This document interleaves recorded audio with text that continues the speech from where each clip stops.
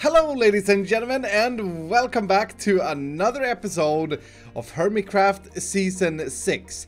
Today we're starting things off just outside Hermitville at Siege of Doom, which is my minigame and since the last episode I have completely, completely finished this minigame. Now you may ask yourself, but hey Iskall, you already said that it was finished, and that's true, but what I've done since last episode is that I've installed all of the items into the shopping modules in both bases. And just to give you an idea, that is 20 shulker boxes per shopping module and there are 8 shopping modules so that's 160 shulker boxes that I had to allocate like this and then fill with all of these different items. So for example in the weapon se sections we got 10 boxes of stone swords, 6 boxes of stone axes, 3 boxes of iron swords and 1 box of diamond swords. And then in the tool section we got this in the same allocation and yeah it, it took me a few hours but I did it on a live stream and it was actually really really fun to do together with a few of you. So I want to demonstrate how this works as well. So I'm in the yellow base and I want to purchase some armor. So what I do is I put five cobblestone into the shop and randomly I get a rarity. This is an uncommon box, the blue one, and that holds an iron helmet and then I can take that out if I'm better at picking things up. And now I have an iron helmet to go to battle with, which it may, not, it may not be the best thing to buy first. A more reasonable thing to buy first may be the tools. So let's do this one as well. So that is five cobblestone. And we got an uncommon as well. And the uncommon one in the tools has a fishing rod and scaffolding.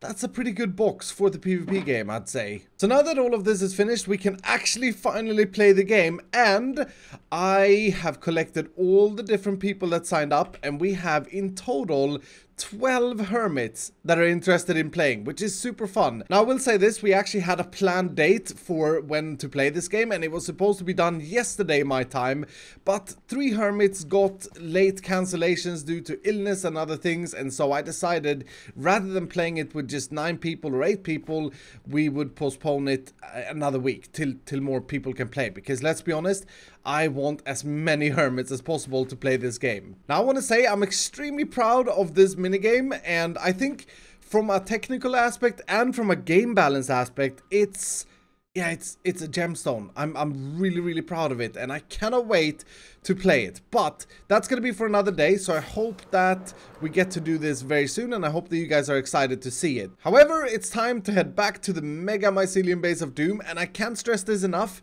But it is so nice to have a fully fleshed out boat boat rail run tunnel Boat Rail Run? Boat Rail Run Tunnel. So I absolutely love this base that we are working on at the moment. And we have got so much stuff to do that we haven't even got to the main sort of attraction yet, which is going to be a mega village trading hall of doom with a lot of nifty functions, etc. And the reason I haven't is because Mojang keeps changing the villager mechanic in every pre-release and snapshot. But now it seems like in 1.14.4, we're actually going to get some some rather OP things into villagers again, which they removed in 1.14.3, and I'm really happy about it. That does mean though that I have to hold off a little bit longer until I can raise my mastermind plan for, for this base right here. And I think that's a good thing, because at the moment I have kind of been slacking a little bit with finishing things up. And I'm talking specifically about the Mega Smelter, which has now been here for like a month, and the wood farm that we added the other day, which, by the way, this thing is absolutely fantastic. Specifically now that I added the AFK thing at the bottom, and you can just stand there AFK, it is... Ah, it is, it is really good. I lie. I didn't fully finish the AFK thing, so we may want to do that as well today. We do need to have a restock of saplings as well. But what I want to get to is some building. And I really want to try and design something for our mega smelter. The only problem is it's really, really tough to sort of fit something around this that would make it work. I think one of the things that I really want to have is the visibility. So I want some sort of visibility to see what's going on in this machine. And this is something that I've lately, like, kind of fallen in love with. I've always worked towards hiding all my redstone, and we can do that in this machine as well. However, I think it would be really cool if these things specifically, but also a little bit of this, would be visible. And in addition to that, I really love having some stone tones in this base at the bottom. I kind of miss it in the main Xbox it is it is an it is an Xbox. So I'm gonna do what I did with the Creeper Factory and add some sort of stone foundation. I'm gonna mix this texture up as well in a little bit. And then I think I want to be brave. I want to see if we can use stripped oak logs instead of birch just to mix it up a little bit. When we started this base, I sort of had the idea that I didn't want to go with a specific style, but build with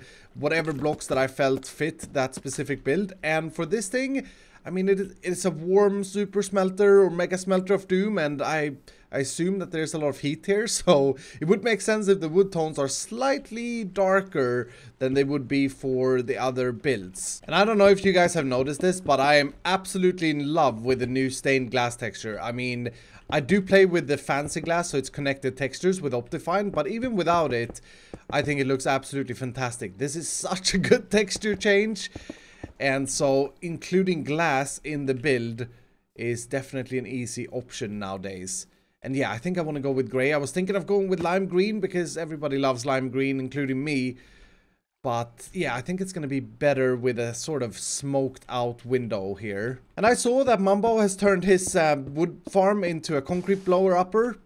And uh, I'm, I'm jealous. I'm seriously uh, jealous. I think I may want to do that one day as well. Or build a completely new chamber, just because it's fun to have more buildings. Now, because we have this redstone line here, I have to switch up the design slightly. And this is always the fun sort of challenging part with trying to build exterior after interior. But it's a way better way to do it, I feel, to build the exterior second than to do the, the exterior first. Because, well, now we can literally just build around it. And I think adding some sort of stability thing like that, a big fat dark gray concrete thing, I think will actually look really good. Right, how does that look? I think... I think I like it. I think I like it. I mean, it looks a little bit weird right now, but I do think I like it. I really like the capping of these wood logs. And that thing is looking very chunky though, which is good. We do need some stability into this build. I think I may add another one here as well, sticking out one, and that would then give us a third one somewhere over here. Then we gotta deal with this thing. Ah, this thing will be tricky.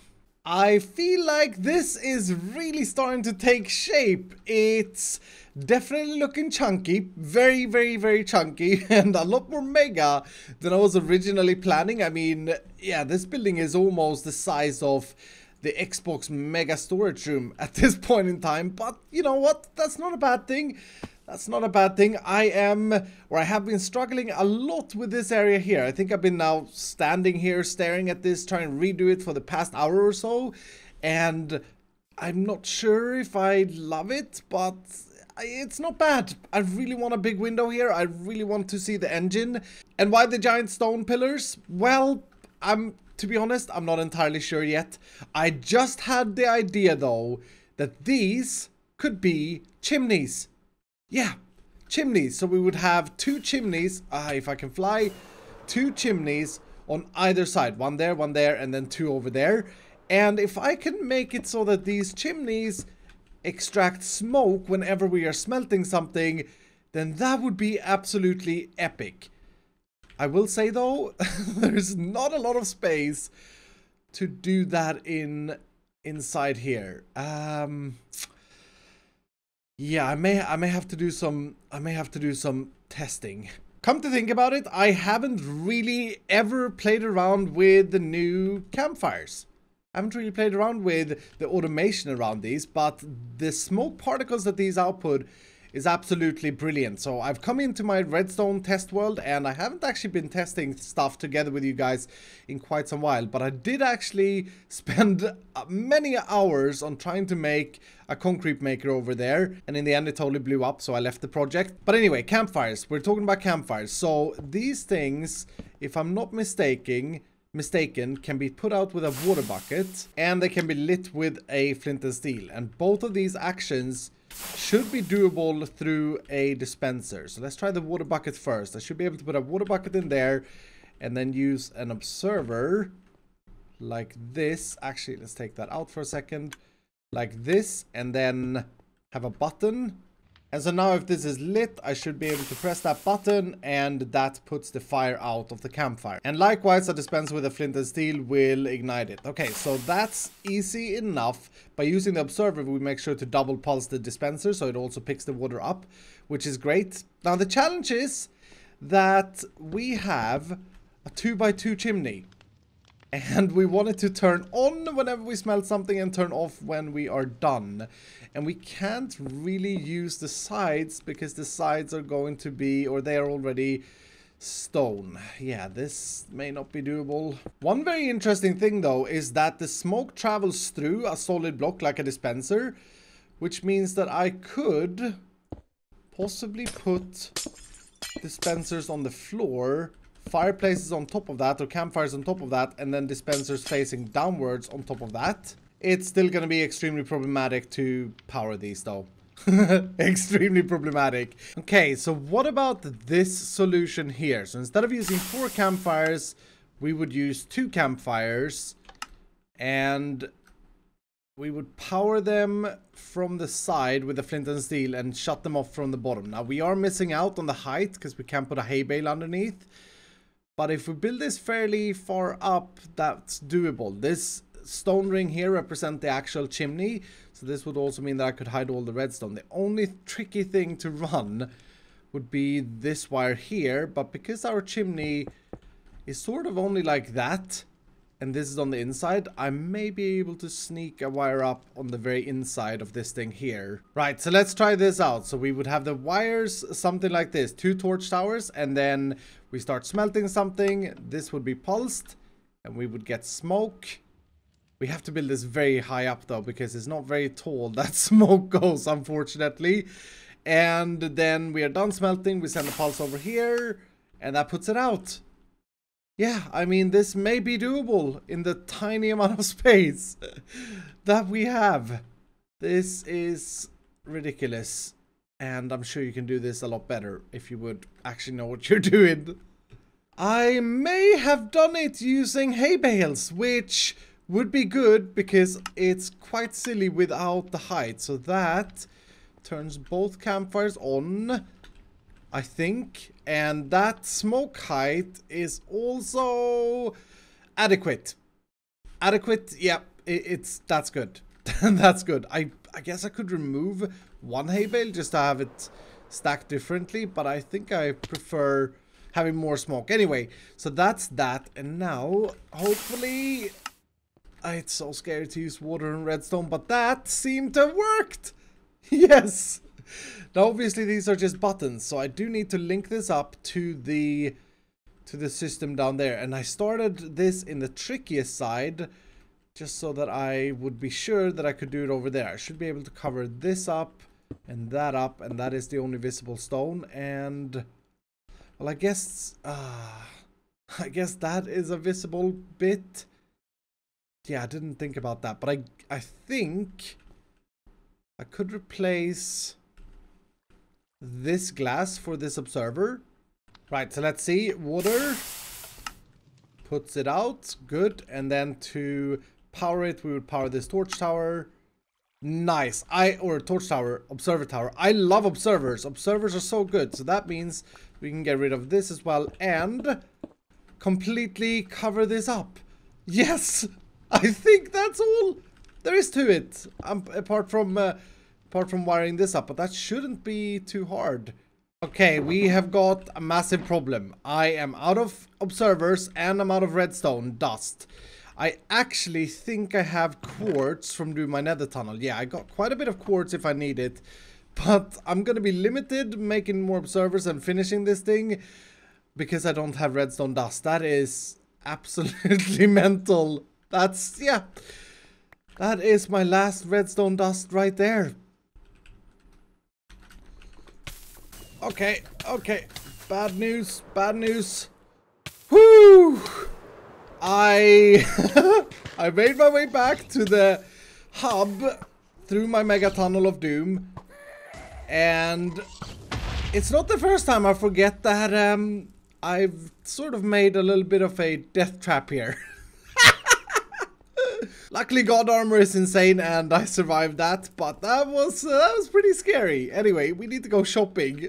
that was Whew, my heart is racing. Okay, having shaken off that lava thing, let's get some more redstone. And I do know that Sahara sells this, and I do know that Mumbo produces these things in his witch farm. But I really like Cherry Computers, despite it being a supporter of Concorp. I don't think this is actually benefiting Concorp. I think this is just benefiting Scar. And this is also the reason why he's so extremely rich on the server. But the prices are just yeah, they're just unbeatable. I've just realized that TFC sells gravel at 9 stacks per diamond. I really wish he had some gravel because that is a fantastic price. So this here should connect up the water dispensers. Actually, I need to do that. And hopefully that doesn't bud power anything. That's the one thing I'm worried about here, this piston. But that should be fine. That's taken from the input line there, so that should trigger whenever the machine turns on. Which is not what I want. Why did why have I wired that up? This is the line I need to wire up to that. This I need to wire up to Oh yeah, that's true. It's kind of the same input-output line. Several frustrating wiring hours later. Yes! We have smoke in the chimney! When the machine is running. I can't believe it. Okay, this has been a nightmare to wire. I shouldn't say too much. Let's see if it also stops whenever this thing stops. I just realized that that may not be a thing. Okay, so that ran out and... Yes! I did it! I cannot believe it! It's been several hours of trying to wire these stupid things in this very, very tiny space. But there we go. That is all working. It had to do with timings and all of those sort of things in order to get that to work. But that is a beautiful sight. So now whenever the factory or smelter machine is running, we get smoke. And I got to do that three more times, by the way. And whenever it runs out, it's calm and beautiful. And I'm just over the moon. I'm over the moon right now. So I guess I gotta get back to building because so far, well, I've only done half of a side. of this thing.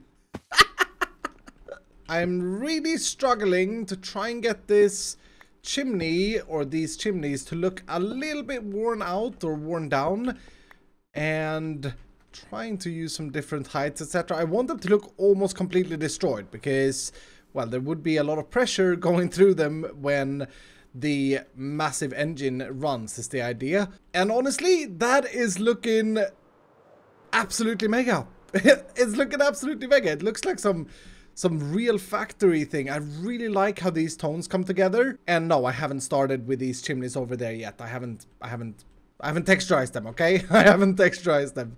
But the whole thing is really, or has really come together. And like I said, I'm so happy I added in these big walls, etc. Or big whatever these things are, because they sort of make the whole build. And I am actually really happy that I decided to go with oak as well for this build. Now, weirdly enough, I haven't yet done anything in the actual part where the smeltering is happening. And I'm not entirely sure what I want to put here. I kind of like the idea of having it semi-open like this, but we would need a proper staircase or something. I just like the idea of this looking, uh, to me, like an engine. I mean, it looks like some sort of piston bolt thing that goes on in here and that thing there that produces the fuel. It just, it just works in my eyes. And this thing is absolutely insane when it comes to repairing my tools. I cannot believe how fast this thing is. Xisuma is online and he's AFK. And it's still is super, super quick. And yes, I, I, I, I should have had a tutorial on this. I should have had a tutorial done.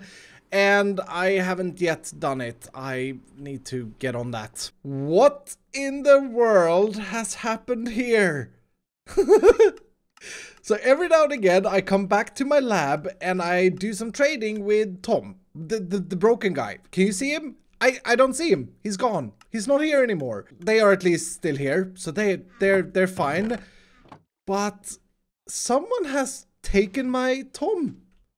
So, someone I can't believe this. At least they left a trail. I mean, literally, where does this rail go? It goes here, where there is just a water elevator up to the surface, I guess. Yep. I can't believe this. Someone has seriously kidnapped Tom. or Timmy or Bob. I can't remember his name. I'm I'm terribly sorry. Maybe maybe I'm not a good dad for Tom, Bob, or Timmy. Because there are no signs or anything, I am currently suspecting the Ice Queen for this. Because technically, the villager is not just mine. It's a shared lab and yeah, I can totally see that. Aha! A lever that does nothing. what the heck? But look here, behind the lever, there are villagers. Are you... Are you... Uh, Bob? Bob? Hello, Bob? I should say I made a name tag, Timmy Tom Bob, if we do find him, so that we won't lose him again. I don't think... Yeah, I think these are new villagers because they have... The, why are these levers? Okay, that did something. Oh, I, I'm confused. Oh, okay. yeah, I don't think our villager has any suit on. So I had a look at someone's certain last episode, Mistress Monster, and... Yep, he is here. He is here. Let me show you. This is actually pretty cool. He is inside this tree and oh, I can hear him. Oh my goodness, there you are, Bob. Okay, let's just go ahead and name him so that we know who's who. Timmy Tom Bob. Yeah, perfect. Do you like your new home? Do you like sitting in this birch tree? with a secure Apple lock. Now, I don't entirely know what to do, if I should take this guy back, or if we should take him all the way to the new Mycelium Island, maybe. But for now, he's safe here, and since we have named him, well, we will know if he gets replaced. I'm happy to see that he's safe. Now, I do really miss playing around with villagers, and I really hope that we get to update ASAP to 1.14.4 so that I can build my new trading hall, because I miss this place. I mean, this is one of the best ways to get OP in Minecraft, and at the moment... I mean, most of these guys are just locked out, even though this guy's mending trade is not locked out for some weird reason. And they are also the old villagers, so they don't have the discount options, etc, etc. So I'm really looking forward to playing around with that. And I think I think I'm gonna make like a 60 villager trading hall, like a really massive trading hall. And maybe Sahara will make profits based on the fact that we will have villagers once again. So yeah, it's a win-win. I also want to redo a, a, potato farm and a carrot farm. You have to do these slightly different now, but they're still possible. Yeah, we got a lot of good stuff uh, coming up. But anyway, dudes, that's going to do it for today. I hope you have enjoyed this episode. If you did, do hit the like button down below. And if you're brand new, consider subscribing. And I will see you dudes in the next episode.